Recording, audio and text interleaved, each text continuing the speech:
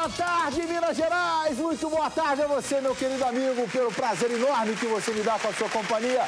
Minha senhora, minha querida amiga, muito prazer. Muito obrigado pelo carinho da sua audiência. Você está na TV Alterosa, eu sou Stanley Guzmán. Começa agora o Alterosa Alerta, assim, de notícia para você, eu já começo direto. No programa de hoje você vai ver que a polícia teve trabalho para deter um menor que havia arrombado uma loja e roubado um carro na região centro-sul aqui da capital. Depois dos crimes, ele fugiu e chegou a se jogar no Ribeirão Arrudas para escapar da poliçada. Mas não teve jeito não, negão. Teve jeito não. Mais detalhes eu te conto daqui a pouco, meio-dia e 32. Você está na TV Alterosa comigo também. Daqui a pouco que eu vou te mostrar o incêndio que destruiu parte da cobertura de um apartamento aqui de BH nesta manhã. Um cachorro teve de ser resgatado e dois gatos infelizmente, acabaram morrendo durante esse incêndio. Imagens da TV Alterosa, da equipe de jornalismo da TV Alterosa, está aqui. Daqui a pouco eu te conto tudo isso. E quanto mais, você vai ver que uma unidade de pronto atendimento da capital está fechada desde ontem por falta de luz. É, falta de luz. Os pacientes que precisam da ajuda de aparelhos tiveram de ser transferidos. Eu quero saber o motivo. Você quer saber o motivo? Por que, que não tem luz nessa unidade de pronto atendimento? Se prepara aí, assessoria de comunicação. Eu quero a resposta. Eu preciso dar a resposta para minha Minas Gerais. E ainda hoje você vai conhecer os traficantes trapalhões. É, foram fugir da polícia e ficaram presos no telhado de uma casa eles precisaram de ajuda dos bombeiros para descer. Aí o cara sai para roubar, faz a M toda e tem que chamar o bombeiro para ajudar a descer. Por que, que não soltou a meia dúzia de Rottweiler com fome para cima deles? Não? As imagens aí para você, ó. O cara que não quer trabalhar, acha que tem que roubar, acaba nisso aí, acaba na mão da policiada. Não, Tiagão? Acaba guardadinho lá dentro. A policiada tá na rua, são meio-dia e 33, o Alterosa Alerta tá no ar, não tem conversa fiada não. Vem pra cá. Gente, olha pra mim, olha pra mim, vem cá, vem cá, correndo. Nós já estamos no meio do ano, e o ano está passando e às vezes a gente nem percebe isso. Eu te pergunto, o que é que você fez até agora para o seu ano ser mais, mais produtivo, diferente? Não mudou muita coisa até agora, né? Então para tudo, sabe por quê? Porque eu vou te ajudar a você parar de reclamar da vida e tomar uma atitude. Eu quero convidar você a se qualificar, a ter uma profissão. Porque andar por aí entregando currículo, sem qualificação, isso não adianta, já acabou, já era. Eu quero convidar você a procurar o SEBRAC. Qualifique-se na melhor escola de Belo Horizonte e conquiste um ótimo, mas um ótimo emprego. Pense no seu futuro e ligue agora no 3209-0770. Porque no Sebrae você aprende tudo sobre departamento pessoal, departamento financeiro, faturamento, noções administrativas, estoque, compras, escrita fiscal e tudo o que você precisa ser é, é, para se formar um profissional completo na área de administração, que é uma área que cresce muito, demanda muito conhecimento. E para o mês de abril, né, que já está indo embora agora, eu já estou no mês de maio. Ah, e aí, é, não? O mês de abril já foi, eu já tive. A promoção até acabou. Para o mês de maio eu trouxe um especial muito melhor os primeiros 50 que ligarem no 3209-0770 vai ganhar um super desconto de final de mês, 60%. Quanto custa o curso? Até 60%, porque eu sou telespectador do Alterosa Alerta. E a sorte não para por aí, não. O SEBRAC tem uma agência de emprego exclusiva para quem estuda lá. Você, se saiu bem, você vai ser encaminhado para o mercado de trabalho através da agência de emprego. Então não perca tempo, não. O telefone está na sua tela, 3209-0770. São só 50, hein? Os primeiros que ligarem, mas tem que ligar e avisar que é Alterosa Alerta. Agora, com passe de mágica, eu e o Mitinho vamos colocar o zap na tela. 7506-8800 é o telefone que vai te qualificar e vai te colocar à disposição do mercado de trabalho. Sebrac, a escola que forma campeões Agora, uma duplinha da pesada deu trabalho para policiais militares essa manhã. Após arrombarem e furtarem uma loja no bairro Serra, o bairro Serra fica na região centro-sul aqui de BH. Os bandidos fugiram em um carro roubado, mas a polícia ficou na cola dos ladrões que, em determinado ponto da fuga, acabaram batendo o veículo em um meio fio. Um deles conseguiu fugir, já o outro, um adolescente, bem que tentou, mas acabou se dando mal, como conta pra gente a minha querida Etel Correia. Etel, contigo na tela agora, vamos ver! Stanley, a perseguição policial começou aqui no bairro Serra. Militares avistaram quando dois homens saíam desta loja que teve a porta arrombada. Eles passaram por uma abertura no meio da porta. O rapaz que toma conta e abre aqui, ele que abre aqui a loja todos os dias, seis e meia, né? Aí o policial estava do outro lado aqui esperando ele chegar para avisar que estava arrombado. A gente vê aí o trabalho agora desses homens aqui que estão tentando consertar. São amigos do dono da loja que vieram prestar o socorro aqui. Olha, a informação é de que os dois homens conseguiram levar objetos lá de dentro. Parece que é uma balança do dinheiro da gaveta, né? Que dinheiro trocado. E algumas mercadorias, cerveja. Cortaram no meio da porta. É, com um pé de cabra, estouraram as laterais e romperam o meio da porta.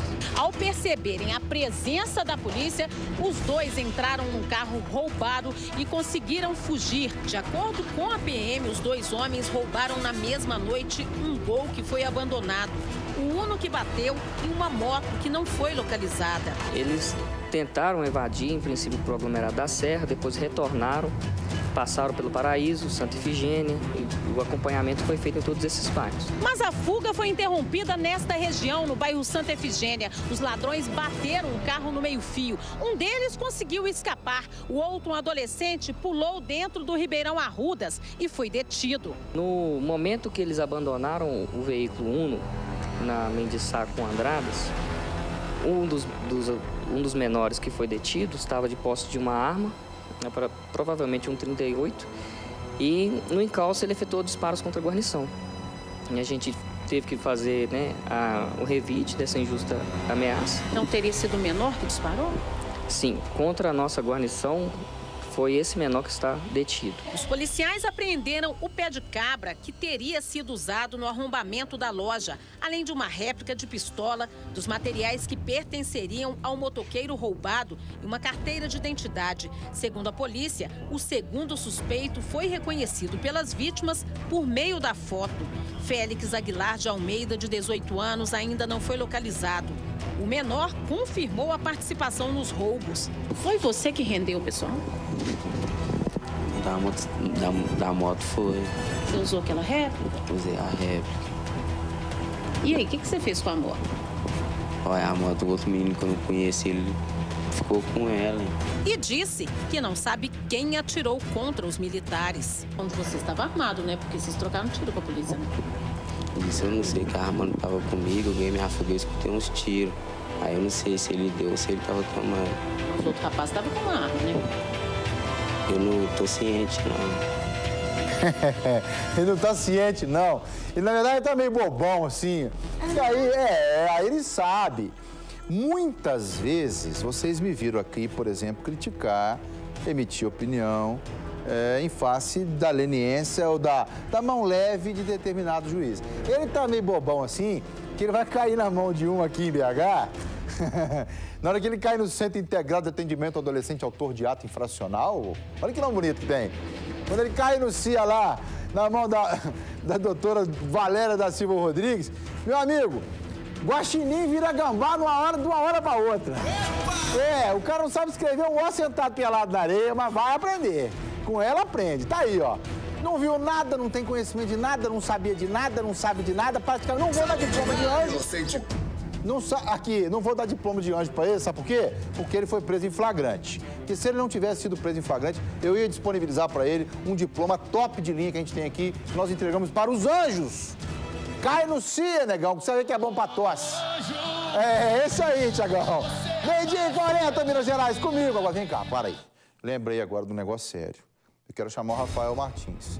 O homem que matou o outro a tiros na porta de uma casa de shows aqui de BH no mês passado virou réu e pode ir a júri popular. O Rafael Martins, antes, muito boa tarde. Explica essa história direito pra gente aí. Olá, muito boa tarde para vocês, Stanley. Boa tarde a todos que almoçam ligados aqui no nosso Alterosa Alerta.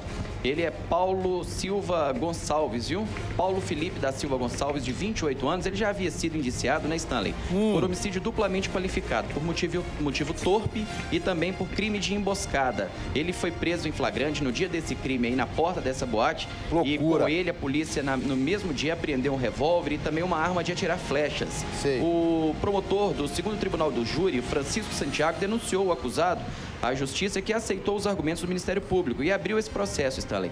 De acordo com o Ministério, a juíza do caso foi quem recebeu a denúncia. A defesa já apresentou seus argumentos e os autos foram enviados ao promotor Francisco Santiago para que ele tome ciência das alegações dos advogados de defesa e do acusado do crime. Os próximos passos são os depoimentos do réu e das testemunhas de acusação e defesa. Só depois que a juíza decide se manda Paulo Felipe a júri popular. Você se lembra muito bem dessa história? Lembro. Ela aconteceu ali na Avenida Raja trabalha na porta dessa boate depois de um desentendimento lá dentro, né? E a vítima desse crime foi o Guilherme dos Santos Alves, de 33 anos, baleado nas costas.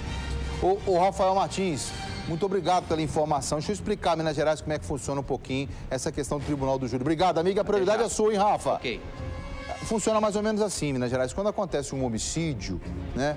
Um, um, um crime contra a vida, o caso que você está vendo na imagem aí, é, o delegado faz o inquérito, promove o inquérito, apura todas as partes, ouve quem ele acha que deve ouvir, é, monta um relatório e envia ao juiz. O juiz pega esse relatório e entrega ao Ministério Público.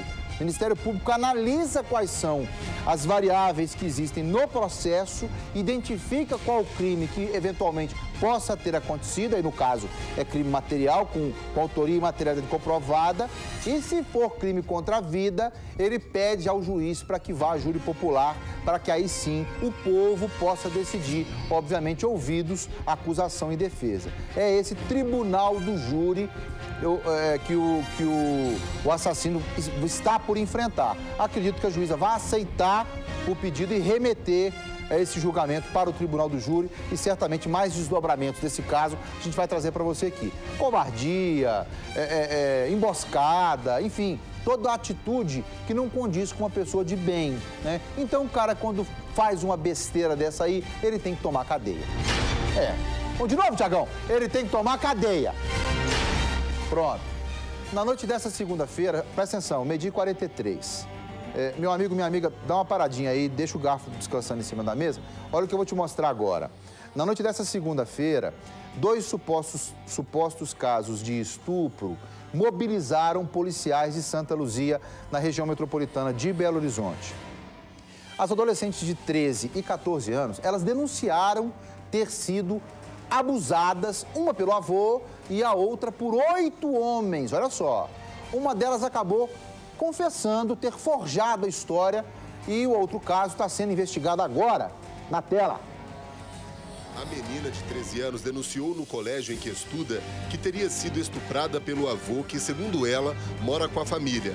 A polícia militar foi acionada e a garota veio acompanhada pelo conselho tutelar até a delegacia de plantão de Santa Luzia, onde prestou depoimento. A criança estava na escola e relatou à supervisora da escola que o fato ocorreu na data de ontem e o autor seria o avô. A supervisora da escola acionou o conselho tutelar e o conselho, por sua vez, conduziu a criança até a companhia da Polícia Militar, onde nós fomos acionados. De acordo com os militares, a menina, que aparentava ter um leve atraso mental, disse ainda que já havia sido abusada pelo avô outras vezes. Ainda de acordo com a PM, os pais disseram que o estupro não ocorreu. Em contato com o pai da criança, ele alegou que era mentira dela, que ela tem problemas mentais e que ela já tinha feito outros relatos dessa mesma natureza, inclusive no dia 2 de maio. Né, 2 de, de, de maio deste ano, o, ela relatou o mesmo fato, o avô foi conduzido para a delegacia juntamente com a menor, foi ouvido e foi liberado. Quase na mesma hora, os plantonistas da Polícia Civil receberam um outro caso de suposto estupro. A vítima também seria uma adolescente, uma menina de 14 anos, supostamente com problemas mentais. Ela contou aos pais que acompanharam a ocorrência que teria sido estuprada por oito homens. Mas durante o depoimento, a verdade veio à tona.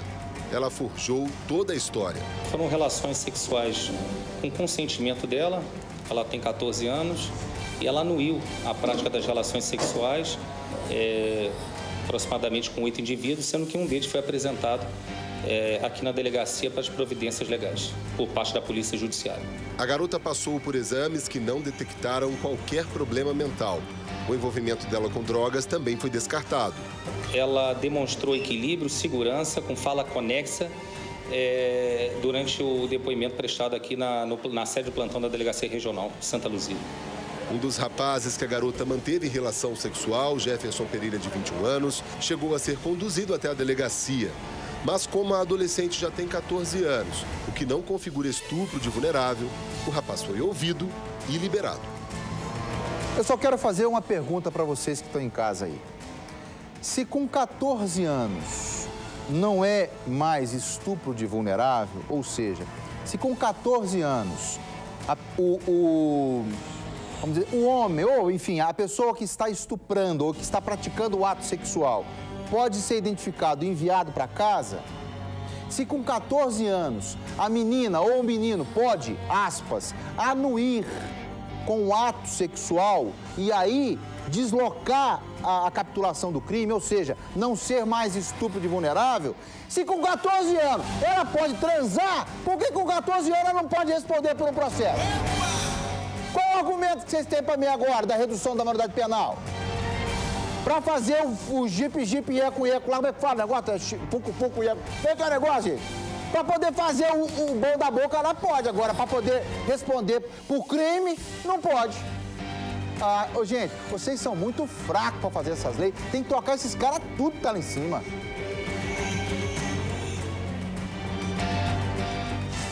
Tô ficando bom nisso? Tô ficando bom nisso? Eu me obediente, Gabriela, hein? Ô, gente, peraí só um pouquinho. Vou falar do colchão oriental dos 2000, mas... Jo... Ih... Ô, será que eu posso só ouvir? Você pode, Tiagão, mostrar como é que a Gabriela conversa comigo, o tom de voz dela comigo? É assim que eu sou tratado, gente.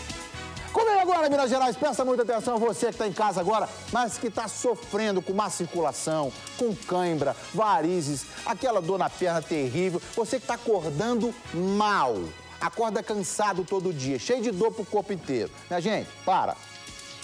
É impressionante como o Colchão Oriental Estudo 2000 pode e vai ajudar você a melhorar sua qualidade de vida. Eu só queria convidar você a ligar agora no 0800 038 2000. Sabe por quê? Somente ele possui essas terapias que estão aqui, ó. Uma delas é a Lume Magnéticas, pastilhas magnéticas que massageiam todo o seu corpo, te proporcionando uma verdadeira massagem terapêutica. É uma fisioterapia enquanto você está dormindo. Eu vou virar para cá e dizer para você o seguinte: você já sabe que são milhões de pessoas satisfeitas, você já sabe que é o colchão que pode ajudar você a, a resolver boa parte dos seus problemas. Então eu vou parar de falar, vou direto, direto, direto na promoção. Se ligar hoje, se ligar hoje, em 48 horas, o nosso consultor, que é especializado, vai estar na sua casa. 48 horas, dois dias, vai estar na sua casa e vai te explicar tudo aqui desse colchão. E detalhe, aí você compra. Comprou um colchão? Eu vou entregar, só não vou carregar. Mas eu vou aí para entregar e você vai ganhar uma cama box, um lindo edredom e a gente vai tomar um café junto aí na sua casa. Sabe por quê? Porque eu quero ver você feliz, meu amigo, minha amiga. O negócio é o seguinte: cuide da sua saúde e da saúde da sua família. Comece a melhorar sua qualidade de vida hoje mesmo. Acorde disposto todos os dias, ligando direto na fábrica. O telefone é 0800 038 2000. O Miltinho vai encher a tela agora. Pum! Olha lá, 0800 038 2000, Colchão Oriental J2000. Quem dorme bem, vive melhor. Ô, gente, eu vou fazer rádio também, já já. Vem pra cá comigo, Gabriela. O Supremo Tribunal Federal, que pessoal que fica lá em cima, bacana, chique, negou o habeas corpus para colocar em liberdade o pichador da Igreja São Francisco, lá na Pampulha, aqui na capital. Rafa, o pichador vai continuar, então, enjaulado, é isso? Vai, na grade? Vai, vai, continuar enjaulado, viu? Refletindo. Ele é o Mário Augusto Faleiro Neto, Stanley. Você se lembra dele, de 25 anos. Hum. Ele aguardava nesse, essa revogação da prisão, mas foi negada, viu?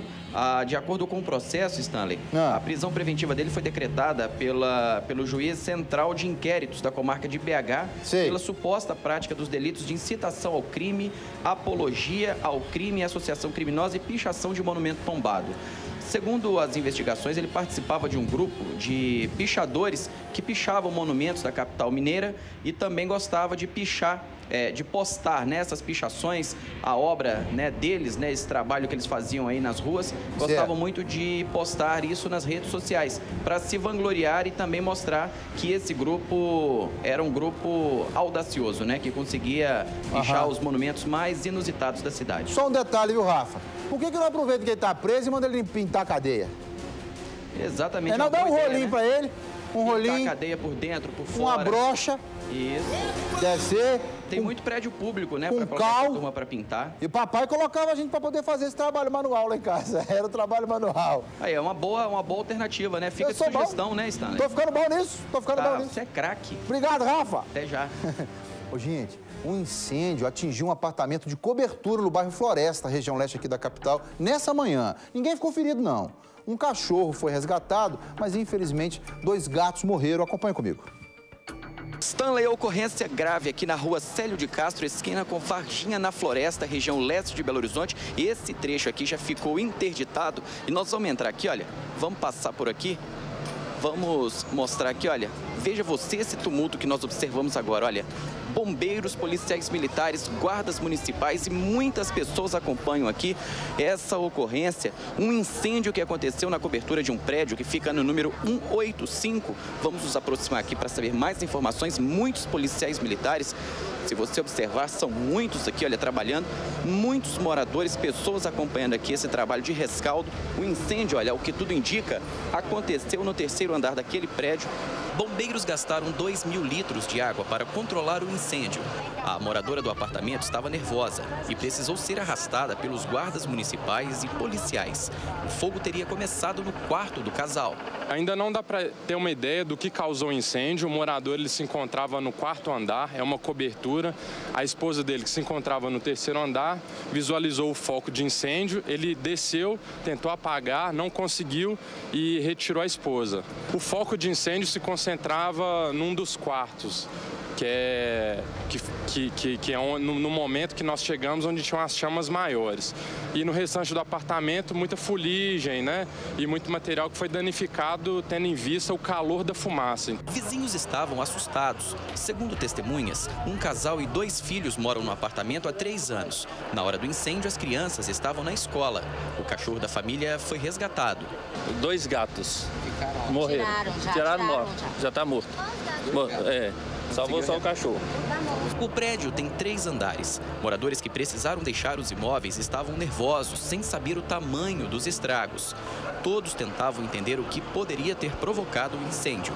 Foi gritaria e interfone tocando, porta batendo, mandando descer, correndo. Nós chegamos aqui só vimos fogo. Tocaram interfone pedindo pra gente descer correndo que estava pegando fogo no prédio. A hora que eu cheguei aqui embaixo que eu vi o fogo lá em cima. Segundo os bombeiros, as causas do incêndio ainda serão investigadas. Há quem acredite que não tenha sido acidente, já que, segundo vizinhos, brigas entre o casal de moradores da cobertura eram frequentes. A gente sempre ouvia briga lá. A Defesa Civil ainda vai avaliar se a estrutura do prédio não foi comprometida. É, não vamos fazer juízo de valor antecipado, não, né? Vamos esperar a polícia identificar o que aconteceu para depois a gente poder emitir nossa opinião aqui. A unidade de pronto atendimento Oeste, que fica aqui em BH, está fechada desde a tarde dessa segunda-feira por falta de energia.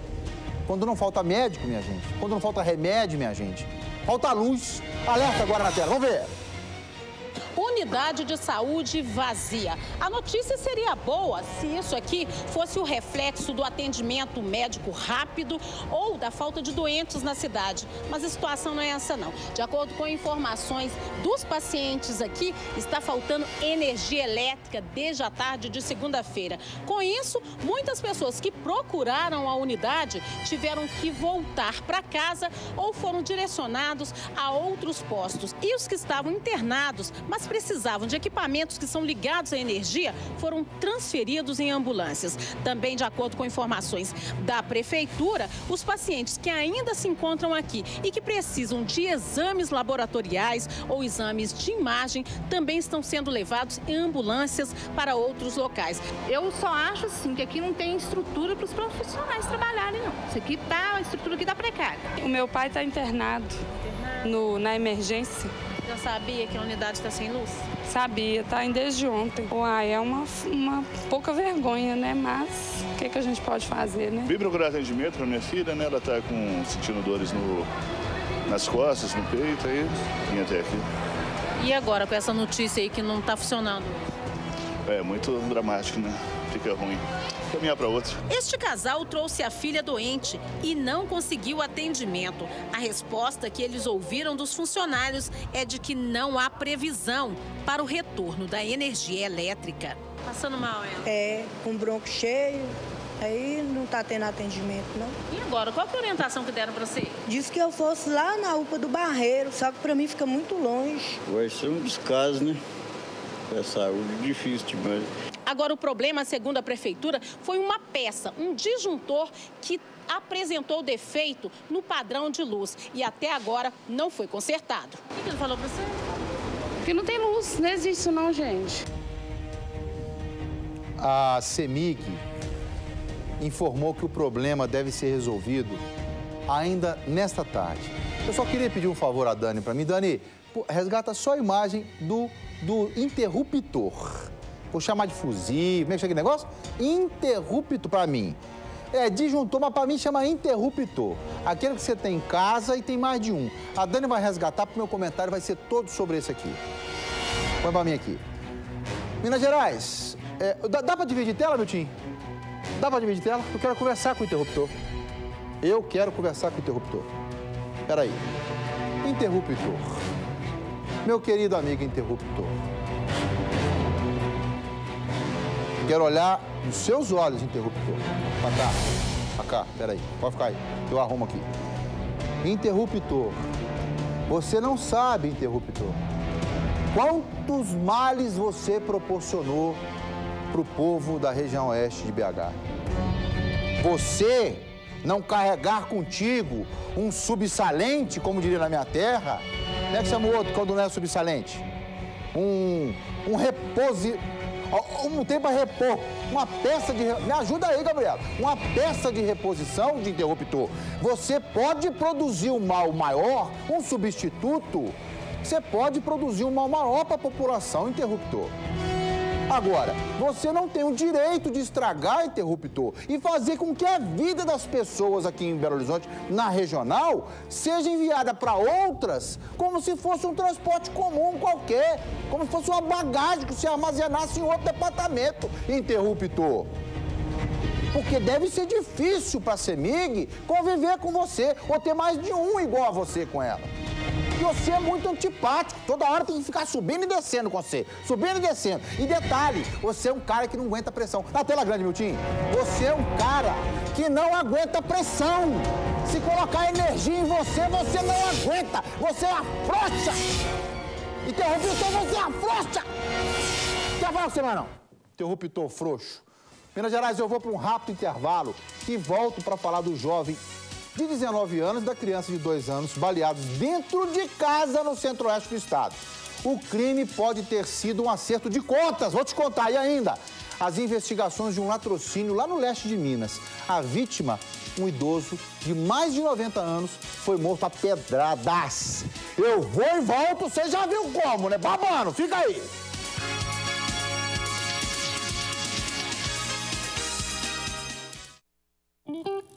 Os mineiros, apesar das dificuldades, estão superando velhos desafios. Os fóruns regionais completaram um ano e as entregas começaram a chegar. O governo de Minas Gerais realizou encontros em 17 territórios do estado para ouvir de perto as necessidades de cada região e definir as suas prioridades. É uma alegria, né, através desses fóruns, nós termos conseguido essas ambulâncias e assim podendo salvar vidas nessas regiões e realmente sendo um diferencial para o nosso povo. A gente vive um desafio muito grande que é a falta de água. E quando a gente chega até o fórum para participar, para ouvir, a gente leva as nossas dificuldades, os nossos desafios, o governo ouve e coloca em prática. Com os fóruns, se inaugura um novo projeto de governar, onde a população participa e define junto com o governo as políticas para cada região. O Estado vence desafios governando em parceria com quem sabe o que precisa ser feito. Os mineiros. Minas Gerais. Governo de todos. Ame incondicionalmente. Faça a vida valer a pena. Localizado na linha verde final da Cristiano Machado, o Bosque da Esperança Cemitério Parque oferece conforto e segurança nos momentos mais delicados. 2104-6868.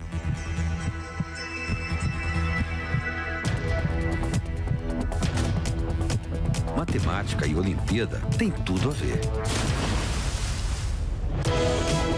A prova da primeira fase da Olimpíada Brasileira de Matemática das Escolas Públicas, OBMEP, está chegando. Dia 7 de junho, terça-feira, em todas as escolas inscritas. A matemática quer somar novos talentos para o Brasil.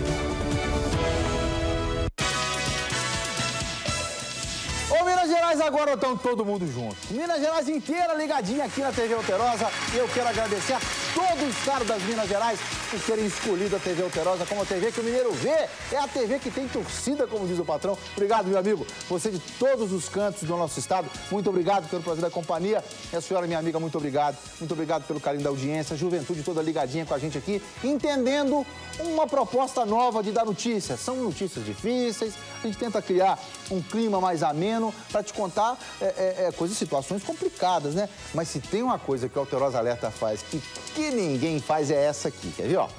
Põe aqui na tela para mim, meu Tim. Olha aqui o sorriso alerta, meu Tim. Sou eu, meu amigo. Sou, alter... Sou o Alterosa Alerta, a TV Alterosa. E a Implantar é que conseguimos te dar a chance de ter um sorriso novo, um sorriso lindo, tudo certinho, a sua boca lindinha, bonitinha, para poder mastigar bem, comer bem, sorrir bem, resgatar, acima de tudo, o que o meu grande amigo fala, qualidade de vida e amor próprio. O que, que você vai fazer?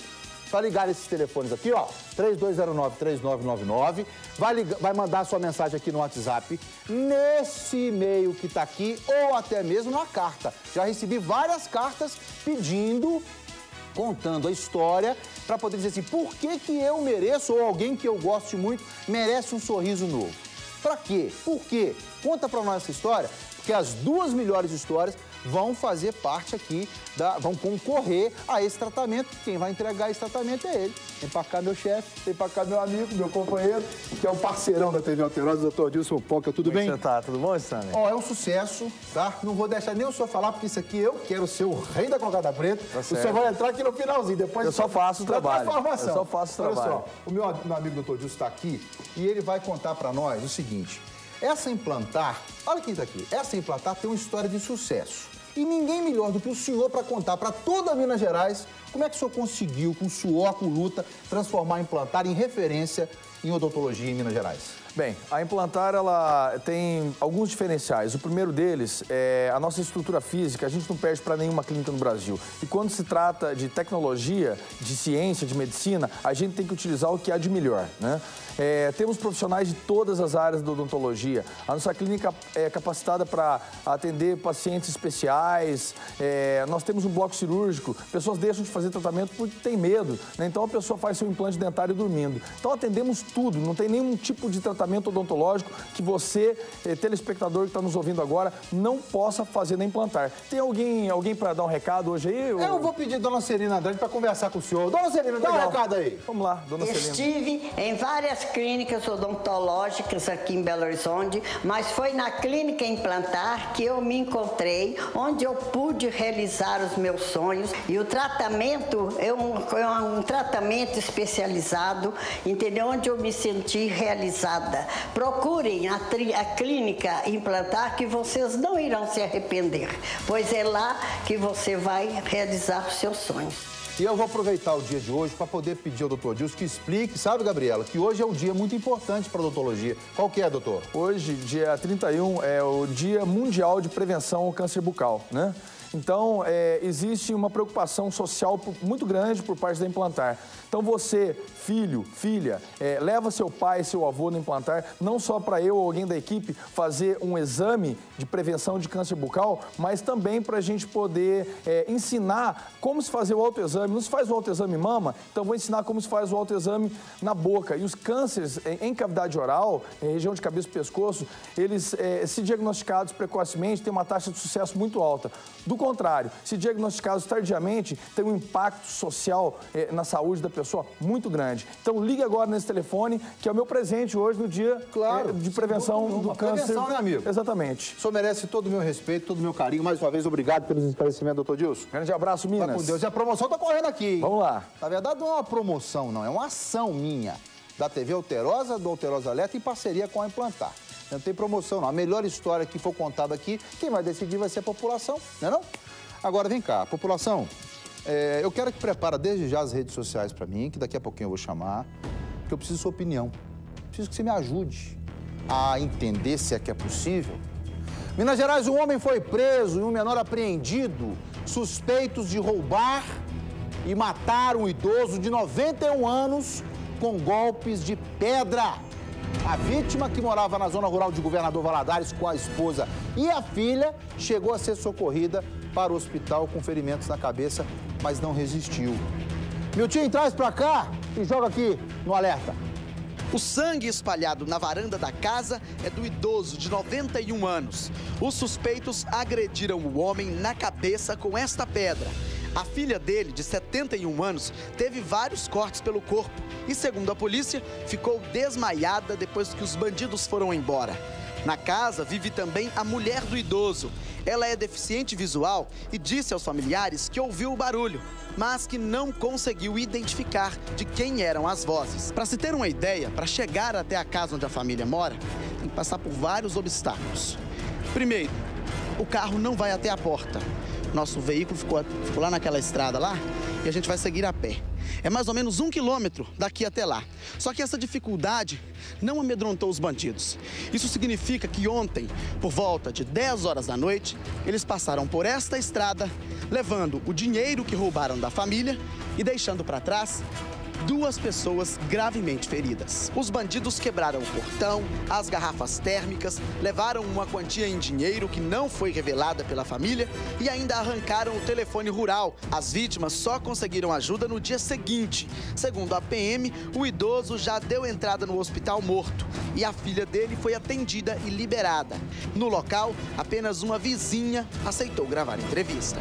A vida deles é né, simples aqui deles era trabalhar, não tinha, não, não tinha uma querência com ninguém. Isso acontecia lá para o mundo fora, a gente nunca esperava de acontecer isso aqui. A polícia fez patrulhamento no distrito e conseguiu prender em Sardoá este homem de 32 anos.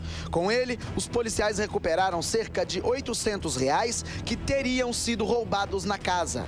Os militares apreenderam também um adolescente suspeito de participar do crime. Não assumem nada, nenhuma participação nos fatos e a gente vai passar todos os, relatar todas essas circunstâncias no REDS e passar para a decisão do, do delegado de polícia. Aí eu coloco em xeque mais uma vez, você que está em casa, e aí prepara as redes sociais para mim, de qual é o objetivo. Eu quero até pedir, quero propor é, ao, ao, Ricardo Carlini, nosso diretor do TV Verdade, nosso diretor de jornalismo, que ele promova um bate-papo, uma discussão aqui do TV Verdade sobre a ineficácia das leis. Porque o Estatuto do Idoso não deveria proteger as pessoas acima de tantos anos, 60 e poucos anos, 65, 60? Não deveria? Se a resposta é sim, por que é que eu estou dando a notícia de um assassinato a pedradas de um senhor de 91 anos?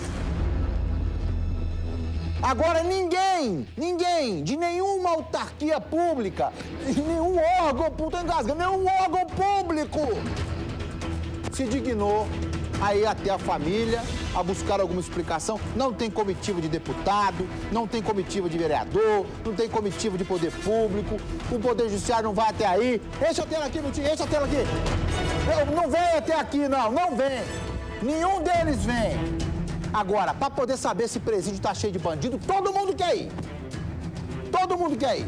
Para saber se a comida tá boa de presídio, todo mundo quer ir. Brincadeira, né? Mas tem mais. Você vai ver agora o flagrante de uma ação de vandalismo registrada em Bom Despacho, que fica no centro-oeste do estado. Dá uma olhada no que um rapaz aprontou por lá. O rapaz pega uma das latas de lixo, atira no meio da rua e quase cai. Um carro que passa na hora quase é atingido. Depois de atravessar a rua, ele faz um gesto obsceno, pega a segunda lata e atira contra a porta de vidro de uma agência bancária. Não satisfeito, ele joga a lata contra vitrines de lojas outras quatro vezes. Outros jovens se aproximam do rapaz para tirá-lo dali. Cerca de 15 minutos depois, uma viatura da Polícia Militar chega e aborda o grupo. Um rapaz de 18 anos foi preso. Segundo a PM, ele estava embriagado. Se fosse um tempo papai, lá em Eugenópolis, ele curava esse fogo dele com pouquinho tempo, mas com pouquinho tempo. É um inhame roxo um, um, um roxinho assim, desse tamanho no lombo dele, umas quatro ou cinco bem dadas, para não estragar o couro. Agora vem cá, vamos ver imagens de uma perseguição policial em contagem. Rafael Martins, eles estavam num carro roubado, é isso mesmo? Conta pra mim. exatamente isso, Stanley. Nós temos aqui imagens dessa ah. perseguição, uma câmera instalada na viatura da Polícia Militar. Veja você, olha a velocidade dessa perseguição. É um carro vermelho que ele foi roubado no bairro Santa Cruz. Olha, a, a, os policiais se comunicando dentro da viatura. Esse carro foi roubado no bairro Santa Cruz e eles seguiam ali, os bandidos seguiam em direção à Vila Marimbondo. Veja você, é uma rua muito estreita, a polícia militar em alta velocidade, os militares vão se comunicando dentro da viatura e vão ali, olha, em perseguição a esse carro vermelho. Ao que tudo indica, um carro roubado que eles teriam pego ali no bairro Santa Cruz, em Contagem também, na Grande BH, e a perseguição segue. Presta atenção na conversa dos policiais militares dentro da viatura. Olha, essa câmera foi instalada no carro da PM, na viatura, e registrou toda essa ação. Vamos acompanhar. Próximo aqui da Marimbola. Aí você vê a velocidade que a polícia tem que acompanhar os bandidos, né, Rafael Martins? É exatamente isso, olha, em alta velocidade Altíssima eles vão se comunicando. Velocidade. A polícia disse ali, né, nós estamos na Vila Marimbondo, que é um lugar conhecido ali em Contagem, perto vai pegar, de um shopping. Vai pegar. Olha lá, ó, nesse momento aí, olha, presta atenção, eles entram na rua e eles vão ali fazendo zigue-zague, desviando de alguns obstáculos. Os policiais com muita perícia e acompanham todo o tempo 39 Batalhão, viu, Stanley? Policiais militares do 39 fazem essa perseguição aí, que vai, olha, daqui a pouquinho essa perseguição vai acabar, viu, Stanley? É a polícia militar mostrando que veio, que pode fazer. Vai olha pegar, lá, olha lá, ó, ó. Vai pegar, bateu vai o carro, pegar. bateu o carro, Stanley. Pegou, pegou. Presta atenção. Olha lá, ó. A ação tática da polícia militar, ó. Escuta a viatura orientar a rede, passou a viatura, ir aeronave, pelo tentando ir pro de apoio, Veja você ali, né? Dois homens. É, e no final dessa perseguição, dois homens foram presos, Stanley, e um revólver foi apreendido. Sensacional o trabalho da polícia. Parabéns ao 39º Batalhão por essa, por essa, por mostrar para toda a comunidade mineira na, o Rafael Martins detalhando cada passo da operação, né? Parabéns ao 39 por essa apreensão aí. Obrigado, Rafa. Até já. Agora, para frear, ou pelo menos tentar frear a criminalidade que a cada dia mira um novo posto de combustível de Juiz de Fora na Zona da Mata, os donos desses estabelecimentos se reuniram com o delegado da cidade. Juntos, eles traçaram estratégias que inibam ou busquem inibir a ação desses bandidos que não têm facilitado não, viu? Ontem mesmo, dois postos foram roubados no intervalo de poucos minutos, olha só. O Getúlio é frentista há mais de 40 anos. Ele foi surpreendido com o primeiro assalto. Aí você já viu, né? O cara põe a arma na sua cara, você não. Você perde todo o, o jeito, você não sabe o que, que vai fazer. Aí ele foi no colega ali, que tava, já tinha recebido o carro, e pegou o dinheiro que estava com ele. 10 reais. O posto que o Getúlio trabalha fica na Avenida Brasil, na região central de Juiz de Fora. Dois homens em uma moto anunciaram o um assalto no meio da manhã e levaram o dinheiro que estava com o frentista. Esse outro posto, no bairro Vitorino Braga, também foi assaltado minutos depois. Os suspeitos têm as mesmas características e agiram de maneira parecida. Em uma moto, a dupla abordou o frentista e levou uma quantia em dinheiro. Cansados de tantos assaltos, representantes de postos de combustível se reuniram com o delegado de roubos de Juiz de Fora para traçar estratégias que possam diminuir a ação de criminosos. Nós vamos ter é, mecanismos de troca imediata de informações. Então, é, uma moto suspeita que passa pelo posto, um indivíduo em atitude suspeita, suspeita, imediatamente essas informações serão repassadas para a Polícia Civil. É, fizemos algumas orientações de segurança também, como melhoria nas câmeras de segurança, e essas câmeras de segurança nos ajudam na identificação e prisão dos suspeitos. O delegado de roubos informou que não existe uma quadrilha para esse tipo de crime na cidade. O que existe é o oportunismo e informações que acabam saindo de dentro da empresa e caindo na, nas mãos de pessoas erradas. Agora, a polícia vai trabalhar para identificar os suspeitos. Nós vamos é, identificar prender e punir esses indivíduos, fazendo com que haja uma diminuição dos crimes de roubo. Eu só quero deixar claro para vocês que estão em casa o seguinte: é uma bandeira do Alterosa em alerta de Juiz de Fora, é uma bandeira do Alterosa alerta estadual, é uma bandeira de todos nós aqui da TV Alterosa, que já passou da hora dessa organização acontecer. Porque assim que vocês organizarem ou amenizarem a quantidade de roubos a, a postos de combustíveis, você vai ver que o, o evento vai migrar para um outro tipo de comércio. Né? Agora, é preciso entender cada dia que passa que os bandidos estão prontos para poder se organizarem. Eles se organizam com muita rapidez. Agora, demorou, com todo respeito aos donos, ao delegado que está sempre conosco aqui, é uma fera, trabalha muito, demorou para poder sentar e conversar. Precisa fazer isso no primeiro, tá, gente? E contem conosco, com total publicidade por parte da TV Alterosa aqui, de BH, de Juiz de Fora, qualquer parte do nosso estado, com a nossa cobertura, tem nosso apoio irrestrito. Está preso em Governador Valadares, no leste do estado, um homem flagrado com quase 120 mil reais escondido dentro de uma mala. O suspeito foi preso com a ajuda de um cão farejador. A quantia apreendida seria proveniente da venda de cigarros clandestinos. Põe na tela agora para mim. Os 119 mil reais estavam nesta mala que estaria com este homem. De acordo com a polícia, foi esta cadela que encontrou o dinheiro depois de farejar uma pedra de crack que, segundo os PMs, também estaria com suspeito. Segundo ele, é, esse dinheiro é proveniente de venda de cigarro é clandestino. A gente vem é, fazendo um trabalho constante no treinamento dos cães para combater diretamente o tráfico de drogas. De acordo com os militares, o suspeito disse que saiu do Espírito Santo com o dinheiro e viria para governador Valadares. O homem não tem passagens pela polícia. Ele foi detido e o dinheiro apreendido. Ô, gente, eu, eu tô aqui com, com meus botão, conversando. Na verdade, põe o Rafael Martins aqui pra mim, Gabi. Ô, Rafa. Oi. É, tudo bem? Beleza. Você tem, por gentileza, um cão farejador de nota de 100, não? Não. não. De, de, nota de 10, de 20, qualquer nota, pelo amor de Deus! Não, o meu cachorrinho no máximo tá farejando as notinhas de dois contos, no máximo, viu? Rapaz, como é que vai arrumar um cão, hein, Gabriel? Como é que vai arrumar um cão farejador de nota de dinheiro? Hein? De 100 conto, hein? De 100, zão? Nossa senhora, eu tô aqui passando aqui, a mão nos bolsos aqui, Não tem não, Felipe. Pode passar 10 cachorros perto de você ah, de mim, que nós tudo quebrado. Pode passar o farejador aqui que vai passar longe. Tem mais pra você, Rafa? Valeu. Agora deixa eu contar uma coisa pra você. Você acha que já viu de tudo na vida, viu não? Viu não? Você vai ver agora, mas vai ver agora imagens de um ladrão que aproveitou uma janela aberta para furtar um escritório em Machado, no sul de Minas. Ô cidadezinha difícil, Machado. Põe na tela pra mim.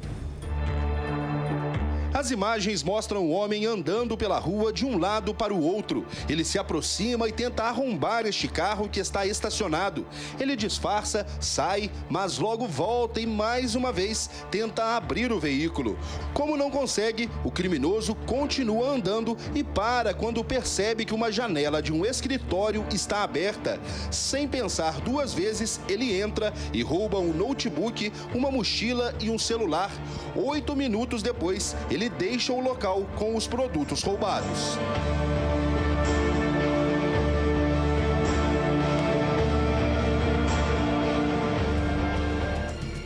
Eu falo aqui que o meu sul de Minas está sofrendo demais. E lá, a gente encontra de tudo. Você está duvidando? Então, olha só.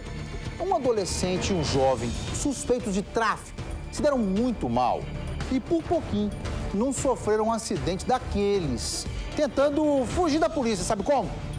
Saltando de telhado em telhado, minha gente. Isso aconteceu lá em Alfenas. Né? Eles subiram no telhado de uma casa que quase desabou com a dupla, né? E tiveram que fazer, sabe o quê? Ligar pro bombeiro para ajudar a descer. O que, que você acha disso? Cavalo com soluço é pouco, meu amigo. Quero ver bombeiro salvando bandido. Na tela agora. Em cima do telhado e esperando por socorro. Pena que a casa em que eles estavam não era deles. Segundo a polícia, a dupla estava tentando fugir da viatura que patrulhava a área e acabou ficando presa. Realizávamos o, o patrulhamento quando deparamos dois indivíduos em atitude suspeita. E nesse momento, os indivíduos saltaram um muro, aparentemente com a finalidade de furto, fazer um furto. Contudo, após a, a equipe se, se aproximar do local, pudemos ouvir um intenso barulho, ruídos aí, aparentemente de, de queda. A dupla dinâmica acabou se ferindo na fuga.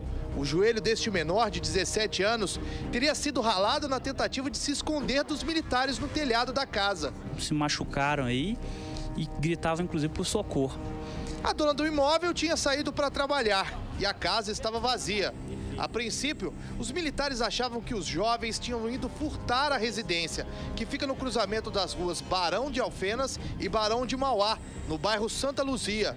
Como é que vocês fizeram para subir ali? Não, nós veio pulando. Nós é traficante, eu senhor, 33, não rouba nada não. Não, mas então por que, que vocês estavam em cima do telhado ali? Vocês iam traficar lá no, no telhado? Tava correndo, né? Tem alguma coisa aqui? Tem alguma droga, alguma coisa aqui lista aqui com você aqui no momento? Aqui, ó, droga apreendida, dinheiro. A PM apreendeu cinco buchas de maconha e 25 reais em dinheiro. De acordo com a polícia, eles já são conhecidos no meio policial. Os jovens trapalhões ainda tiraram sarro. Mas tem que prender a Dilma lá, senhor. Vai estar louco também, é. Você já foi preso antes? Não. Primeira vez? Primeira vez.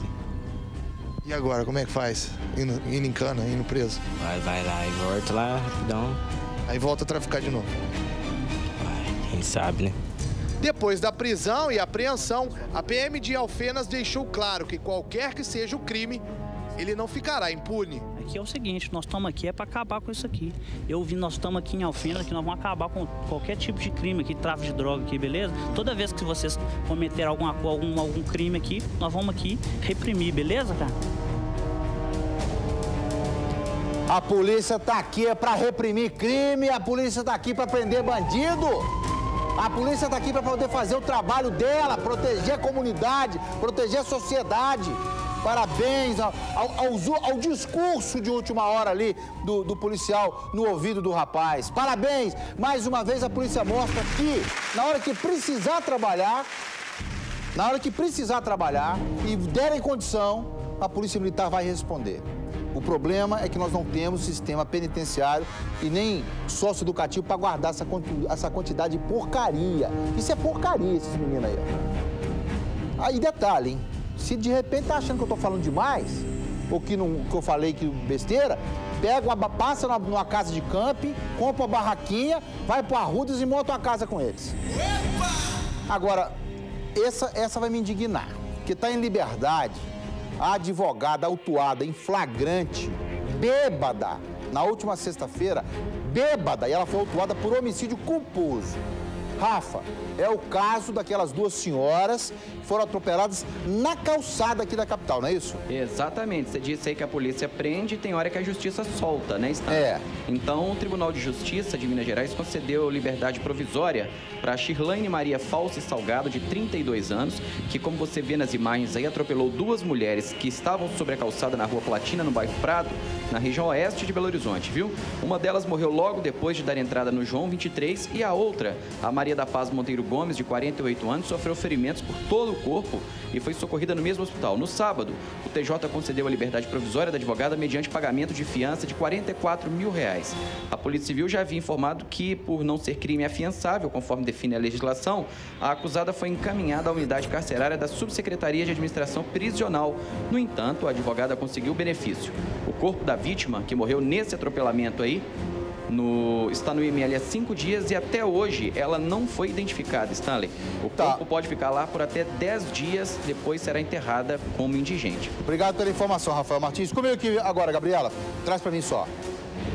É, assessoria de comunicação da Polícia Civil, da Secretaria de Estado de Defesa Social, estão nos assistindo agora. Eu gostaria, em nome do bom senso, gostaria, em nome da moralidade, do, do eu gostaria em nome do, de todos os princípios constitucionais aplicáveis a cada um cidadão brasileiro que vocês mandassem aqui para a TV Alterol. Hoje é terça-feira, Gabriela? Hoje é terça-feira. Até quinta-feira, eu gostaria, quinta-feira agora, que vai ser dia 2 de junho, o local, a delegacia onde essa senhora estava presa, onde essa delega, advogada estava presa. Eu estou pedindo encarecidamente, peço vênia para o meu exacerbar da palavra, da voz, mas eu quero mostrar para Minas Gerais, nessa tela que está aqui, onde eu mostro o bandido, aonde essa, essa embriagada, assassina, matou essas duas senhoras, aonde ela estava presa. Porque eu não sei qual delegacia que ela estava presa e eu quero mostrar para toda Minas Gerais que vocês não fazem careta para cego. Eu quero saber onde ela estava presa, Gabriela Camargo. Eu quero saber. Seguem internados em unidades de saúde de Divinópolis, no centro-oeste do estado, o jovem de 19 anos e a criança de 2 anos baleados dentro de casa. Os tiros seriam é, é, para o rapaz que, ao ser surpreendido pelo atirador, se escondeu debaixo de uma cama no quarto onde dormia o sobrinho, a criancinha de 2 anos. O suspeito do crime, que para a polícia pode ser um acerto de contas, foi detido. Eu quero que você acompanhe comigo na tela. O crime foi nesta casa, no bairro Ponte Funda, em Divinópolis. De acordo com o delegado, Felipe Gonçalves dos Reis, de 19 anos, estava na porta de casa lavando a moto dele quando foi surpreendido por dois homens. A vítima correu é, para os fundos da casa. É, os autores continuaram desferindo disparos. Ele entrou para dentro de casa através dos fundos, se escondeu debaixo da cama, onde estava a sua sobrinha deitada na cama com o filho dela. O sobrinho de Felipe, de dois anos, também foi baleado enquanto dormia. Os autores foram em perseguição e na tentativa de acertar Felipe, né, inclusive acertaram, acertaram também a criança de dois anos, né? Marcas dos disparos ficaram na geladeira, na porta e na parede. Eu levantei apavorado com ela me gritando para poder ajudar ela a socorrer a criança. Felipe tem várias passagens por tráfico de drogas e saiu recentemente da prisão. A família dele e a polícia acreditam que acerto de contas tenha sido a motivação para este crime. Na porta da PAC ele teve uma briga, uma discussão com esse rapaz que chegou atirando nele. A princípio, as informações informações que nós temos é que houve uma confusão na última quarta-feira em que o autor é, ameaçou de morte a vítima. Cerca de quatro horas depois do crime, Washington Martins Fagundes, de 26 anos, conhecido como Branquelo, foi preso no bairro Niterói. Segundo a vítima, que foi alvejado e se encontra na UPA, é, o autor seria esse suspeito que nós prendemos, o autor dos disparos. Ainda segundo a PM, uma testemunha também reconheceu o suspeito. Ele, embora estivesse veste com capacete foi reconhecido também por características tanto da, dessa tatu que existe no seu braço direito, como também do nariz, boca, etc. Washington nega envolvimento no crime. Ele tá arrumando pra mim, né? já teve uma discussão lá, e já desentendeu e agora ele tá falando assim, aconteceu esse que ele tem guerra todo mundo, ele tá falando que eu que matei, eu vou cumprir pelo pato dele, vou ter que pagar por isso aí. Ele vai e fala que eu matei, eu vou pagar. Ele foi lá me prendeu. Eu falou que é eu mesmo e pronto. Eu vou ficar lá 30, 20 anos lá preso lá pra pagar trem dos outros. Ele tem guerra com todo mundo, senhor. Eu não gosto dele também, não, senhor. Por mim, ele tinha que ter, morrido mesmo, senhor. Tá doido? Eu não gosto do cara, mas ele falou que matei, não. Eu quero é prova, hein. Deve ter sido eu, então. Felipe, Felipe Gonçalves dos Reis, de 19 anos, está estável e aguarda vaga para ser transferido da UPA para o hospital onde deve ser operado. Já a criança de dois anos passou por uma cirurgia e continua internada. O estado de saúde dele ainda é grave, mas o quadro clínico é estável. Mais uma vez, né? Vem pra cá, vem pra cá, Mitinho. Mais uma vez, a gente vê que, infelizmente, se a polícia não entrar de cabeça na, na proteção da, da família, nós não temos jeito, não. Um jovem foi internado depois de cair de uma estrutura montada para uma festa em Ipatinga, no Vale do Aço, nesse domingo. Rafael Martins, o que que ele estava fazendo lá? Conta para mim. Olha, Stanley, eu acho que nem ele vai saber disso. eu acho que ele não tem condições de lembrar o que, que aconteceu. Vamos ver as imagens? Vamos. Nós temos imagens aí, olha, dessa queda. É, era uma festa, Stanley, de estudantes de engenharia de várias cidades. E um Sei. deles aparece pendurado na estrutura metálica. Observa aí, dá só uma olhada na imagem. Ele se desequilibra e cai no chão. O jovem é o Frederico Campos, conhecido como Tico. Testemunhos contaram que ele tinha bebido demais, Stanley. Será, hein? Deus, É, os organizadores da festa, a Liga Esportiva das Engenharias de Minas Gerais e a Euforia Eventos, nos enviaram nota dizendo que o jovem recebeu atendimento imediato e está bem e estável. Ele foi levado para uma UPA e depois transferido para um hospital maior para fazer exames complementares. Tem doido pra tudo, Rafael Martins. Tem doido e bebum pra tudo, É né? pra tudo. Obrigado, Rafa, pela informação. Até já. Quero mandar um abraço grande pro Osair, meu querido amigo do Bar Babalu, e lá em Uberaba, que tá ligadinho. Osair, eu vou para um, pra um rápido intervalo comercial. Não saia daí, Uberaba. Dá um abraço do Júlio Prado, meu chefão aí pra mim. Daqui a pouco eu tô de volta. Atitude, consciência, convivência e cidadania. A construção de um mundo melhor depende de nossas ações e iniciativas.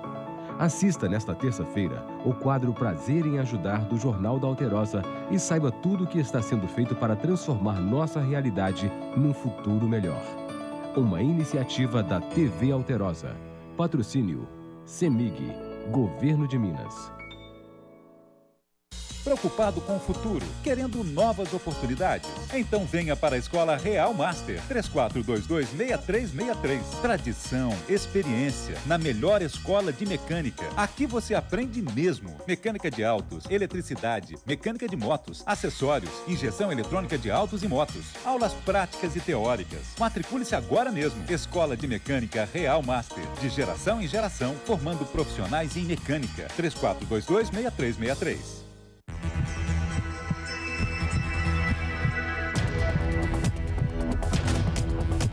Matemática e Olimpíada tem tudo a ver. A prova da primeira fase da Olimpíada Brasileira de Matemática das Escolas Públicas, OBMEP, está chegando. Dia 7 de junho, terça-feira, em todas as escolas inscritas. A matemática quer somar novos talentos para o Brasil. Ame incondicionalmente. Faça a vida valer a pena. Localizado na linha verde final da Cristiano Machado, o Bosque da Esperança Cemitério Parque oferece conforto e segurança nos momentos mais delicados. 2104-6868. Você já pensou que escola pública pudesse ser melhor que escola particular?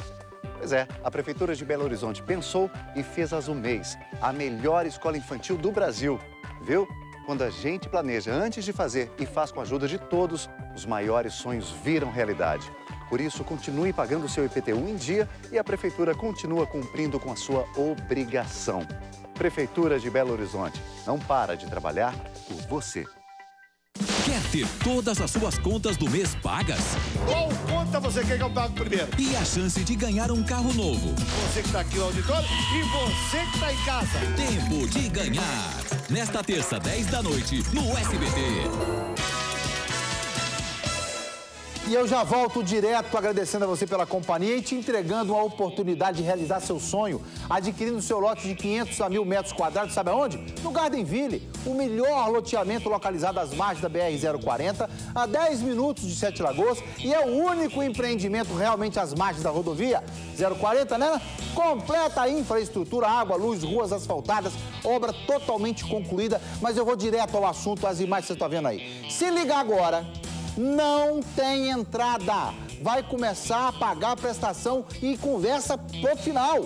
Se você ligar agora, no telefone que está na sua tela, você vai adquirir o seu lote sem entrada, pagando parcelas a partir de 599 reais por mês. Você vai ligar para lá e falar assim, olha, o Stanley, aquele doido, falou que é para ligar para vocês. É isso mesmo? Telefone na tela, Miltim. 9907 aí, 9139 é o zap do Rafael e o 34850123 é o telefone fixo. Eu quero que você ligue, você não pode perder tempo não. Comprar lote sem entrada, minha gente, só na Bandeirantes Imóveis. Comprar lote sem entrada na Bandeirantes Imóveis. 9907-9139 ou 34850123 é o telefone de onde você vai comprar o seu lote negociado do jeito que você puder. Liga lá e pode contar comigo. E por falar em WhatsApp, rede social, eu quero as minhas aqui na tela. Põe pra mim. Fala comigo no Facebook, barra Alterosa Alerta, manda um abraço, puxão de orelha, manda eu fazer qualquer coisa. Um beijo pra todo mundo. No nosso Instagram, arroba Stanley Guzmão Oficial. No nosso Twitter, arroba Alterosa Underline Alerta. No nosso canal do YouTube, você acompanha todos os programas que a gente lá, aqui ó. E o nosso Alerta Zap tá aqui, 971377717. Rafa Martins na tela. Tô aí, Olha, meu amigo. Hoje o seu tupete superou. Tá, diz que tá Não até difícil de conversa. enquadrar ele aqui na câmera, né? Tem que Tá aumentar isso aqui pra uma tela de Tá 50 parecendo polegadas. um, um picolé de creme. Aqui, aqueles que parecem que é a rodinha assim, ó. Ah, todo Que mundo fala no bom, Alerta gente. Zap Só você... eu e Itamar Franco. Só você e o chefão Itamar Franco. É. Deu Ó, saudade. deixa eu só mandar um abraço Ah. aqui pro Jailton, Jailton. campeão de sinuca lá do Boteco do Dondinho. Jailton, parabéns, meu filho. Chicão, um beijo pra você. Tchau, Rafa. Valeu.